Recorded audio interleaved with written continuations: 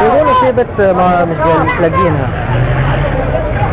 طب إيه يعني؟ مش عليها مهندس